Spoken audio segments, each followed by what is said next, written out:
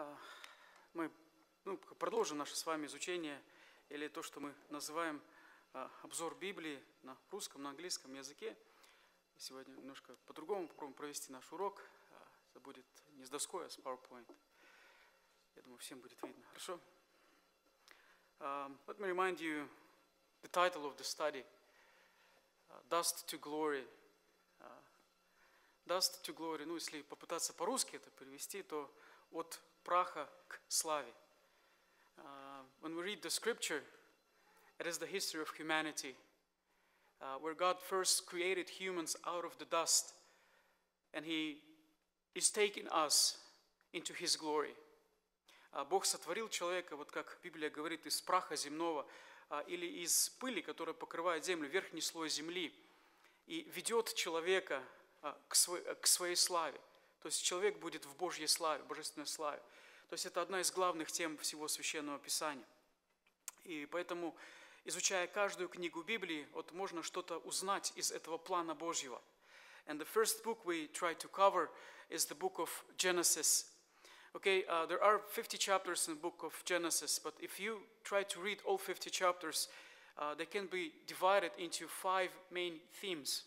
Uh, and the, theme, the themes are at front of you. First one is creation, the image of God in man, uh, the fall, covenant with Abraham, and the patriarch, patriarchal blessing. So all 50 chapters can be divided into five main themes. We, we already covered the first theme, which is called creation, creation of universe. And today we will try to cover a second theme, uh, which we call the image of God um, in man. Uh, the image of God in man. Uh, let me start uh, the second theme with a key word for, for the study, for our study. Uh, if you want to remember something out of uh, this lesson, please remember this word, the word purpose. Uh, В русском языке это слово замысел. Uh, so when we think about God creating humans, here's the, the, the key word to understand the creation of humans, a purpose. Или в русском языке мы с вами говорим это, это замысел. Now, the word purpose is not found in the text of Genesis, but is the main idea behind the account of creation of humans. So, what is purpose? Uh, purpose в английском языке it's a goal to be reached. Или в русском мы с вами можем говорить, что такое замысел, это цель деятельности. То есть вот о чем мы сегодня с вами говорим, вот пытаясь понять творение, сотворение человека, это замысел. То есть у Бога есть цель, для чего Он сотворил человека. There is a great purpose uh, of God behind creation of each of us, of humanity. And it is very interesting uh, when we read uh, the, whole, uh, the whole Holy Scripture.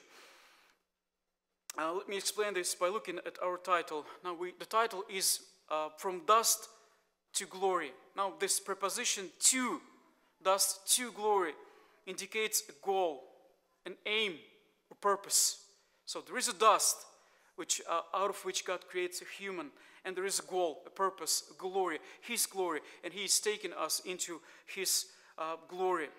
Uh, last time, I think we talked about um, the history. Uh, when we read the scripture, uh, history is linear. What does it mean?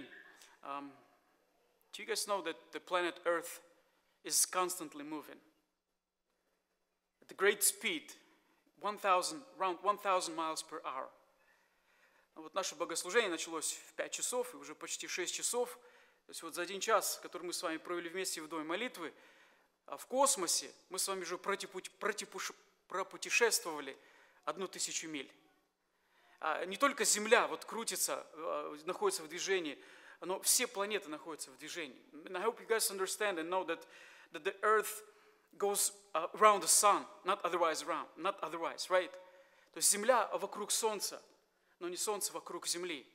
Uh, but when we read the scripture, we have to understand it's not just the planets that are moving, not the universe that it moves always, constantly, but the history of humanity is moving. This is the image of history of humanity. So there is a starting point and there is a completion.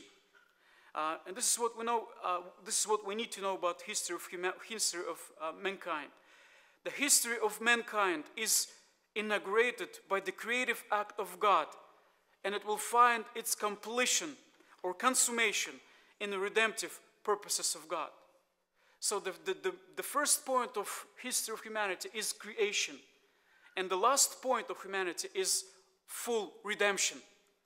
То есть Бог хочет искупить человечество, и в этом вот цель истории. Именно к этому движется история всего человечества. Um, вы, может, ну как-то думаете, что нам это не нужно, нам это очень нужно. So what does it mean uh, to be a part of history which, which is always moving? The part of God's history. Uh, what does it mean to be a part of this history? Uh, we can understand the meaning of history by asking the following question. Why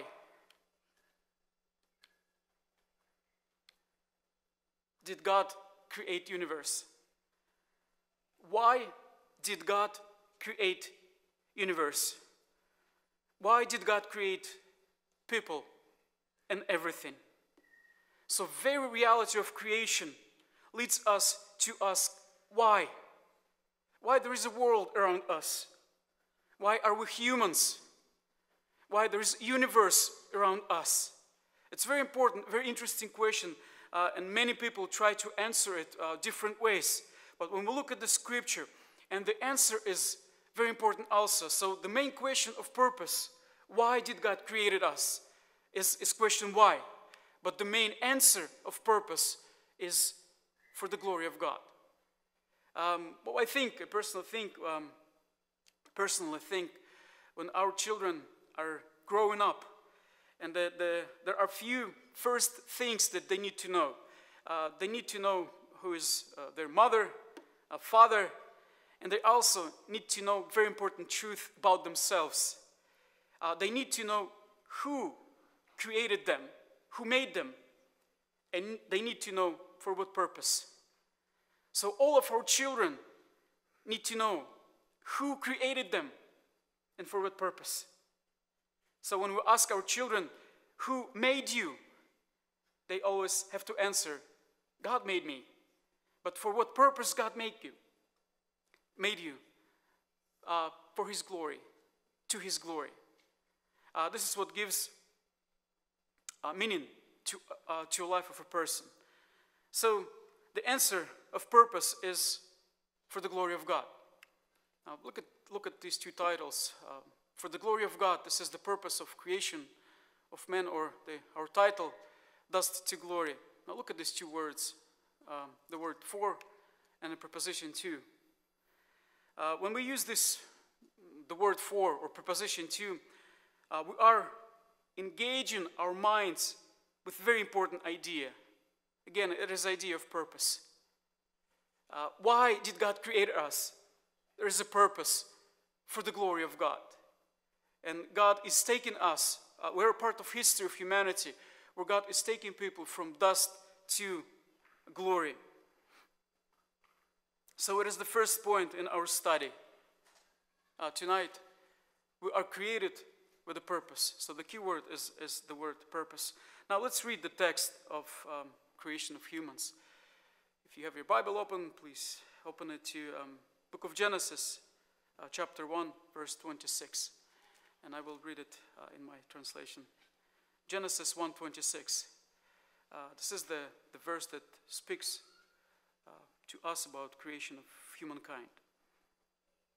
Uh, then God said, Let us make man in our image, after our likeness, and let them have dominion over the fish of the sea, and over the birds of the heavens, and over the livestock, and over all earth, and over every creeping thing that creeps on earth.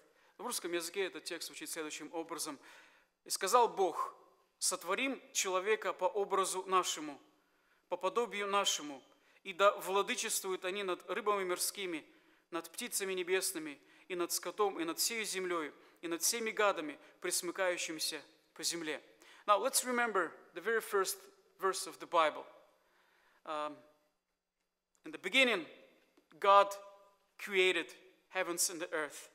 Let's compare it to Genesis 1:26. Then God said, let us make a man in, um, let us make men in our image. Both of these verses describe to us God in action. То есть Бог в действии. Оба этих текста показывают нам Бога в действии. And a little bit more to that. It's not just God in action, but it is ordered and intelligent decision. То есть это очень разумное, упорядоченное решение Бога. А, Я думаю, это очень интересно вообще вот размышлять и думать, и понимать об этом, вот о том, что делает Бог.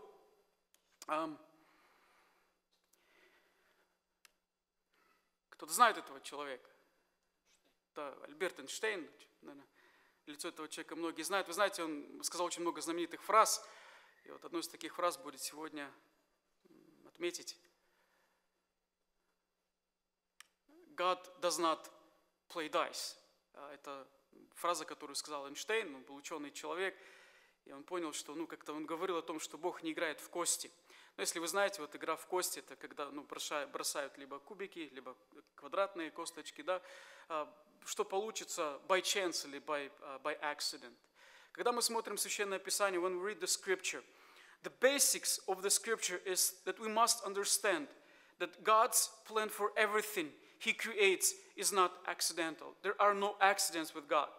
There are no things that happen by chance with God. Everything has its purpose. God does not play dice. То есть Бог не играет в кости. А Во всем, что Он делает, есть замысел, есть цель и есть смысл. И нам очень важно очень интересно познавать именно вот этот вот смысл. Ну, еще вот немножко uh, created with a purpose. This is the first point of our study today. Created with a purpose. Now, if you look outside the church, if you look at the world, what does the world talk? um, что мир говорит вот о сотворении человечества? Uh, one main competing idea uh, with the scripture is the idea of evolution. So, what is the um, evolution? Evolution is a theory, is a theory which says that the species change over time and can even split into new species. Ну вот как вы, с- тут очень интересная, а, известная картинка, да, которая говорит об эволюции. А, То есть а, животные вот с течением времени, они меняются. И когда-то а, человек был похож на обезьяну, но с течением времени, вот а, благодаря эволюции, а, мы стали с вами людьми. То есть вот то, что мир говорит сегодня о сотворении человечества, это эволюция. А Священное Писание говорит о том, что Бог сотворил человека и сотворил человека вот с замыслом. So there's a creation with a purpose in the scripture and the theories, uh, the theory of evolution uh, in this world. Еще одно выражение, которое нам нужно выучить, ну, по-русски, по-английски, но очень часто встречается, а, intelligent design, или разумный замысел. So when we speak about creation of universe, or when we speak about uh, creation of humankind, it is intelligent design. Or, или по-русски, в русском языке разумный замысел. Ну, вот попробую объяснить это. Uh, would you please tell me where this phrase is from? Uh, may the force be with you. Да, это, это с очень известного фильма, да, «Звездные войны». Uh, what's behind this phrase? Uh, may the force be with you. So what is the force? Let's think of a volcano eruption. May the force of volcano eruption be with you. This is fourth force without intelligence. Or may the force of earthquake be with you. How comforting is that? It is a force without intelligence. То есть есть сила без разума. Когда Библия говорит нам о Боге, Бог, Он с разумом. It is intelligent design. То есть Бог, у которого есть замысел, Бог, у которого есть разум, это не просто сила, вот сила вулкана, который взрывается, не просто сила землетрясения или сила ветра, Бог, у которого есть разум, а Бог, у которого, поэтому у него есть замысел. It's not just the force of nature, it's an intelligent, intelligent force or intelligent design.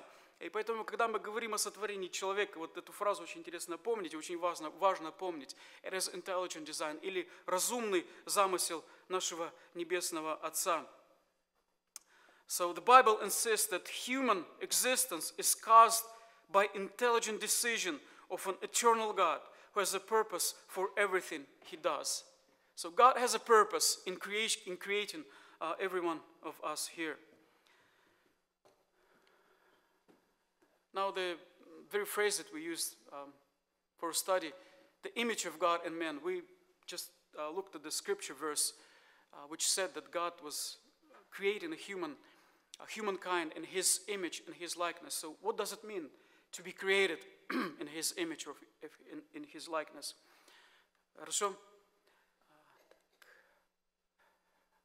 Что это что же значит для нас с вами? Как мы можем понять, а, что значит быть сотворенным по образу и по подобию Бога? Мне кажется, первое, самое главное, а вы знаете, we, to be created, but the design means that we're able to participate in this incredible phenomenon called thinking, reflecting, deciding, learning, feeling and knowing. То есть если вы думаете, да, если вы рассуждаете, если вы представляете, если вы учите, у нас есть возможность учить, если мы с вами чувствуем, это вот часть божественного образа в нас с вами. Потому что, вот как я уже сказал, у нас Бог такой.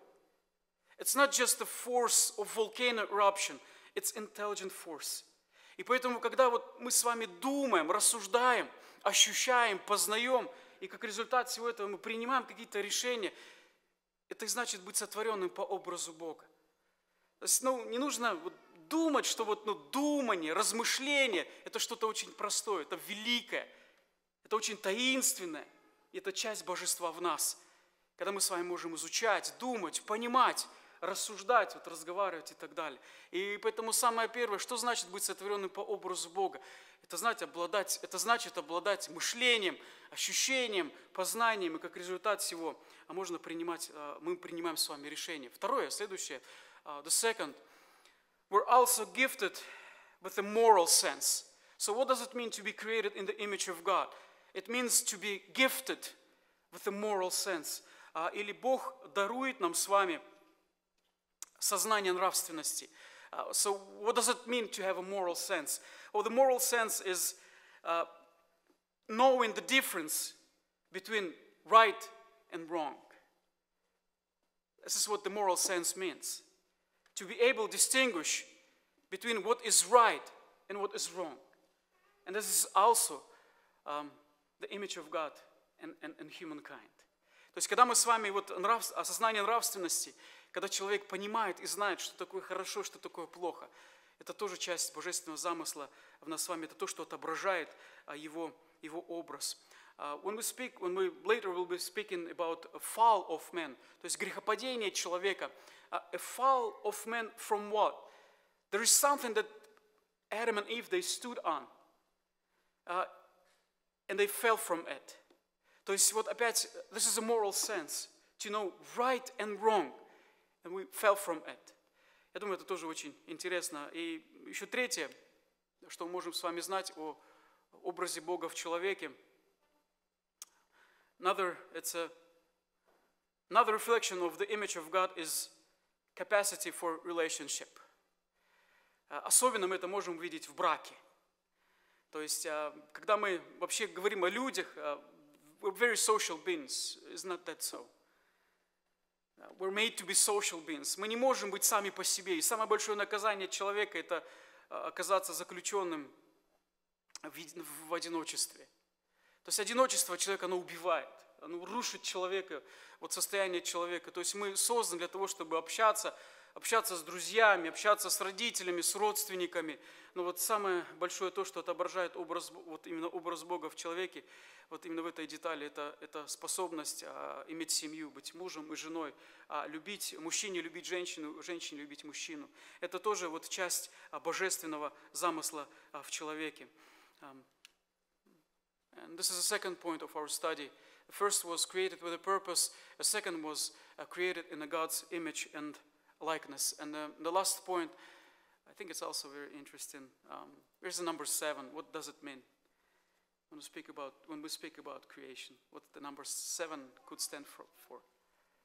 The days of creation. The- there are seven days of creation. Here's a very, very interesting question. What is consummate or ultimate day of creation. Какой самый главный день творения? День седьмой. А, Когда был сотворен человек? Шестой день.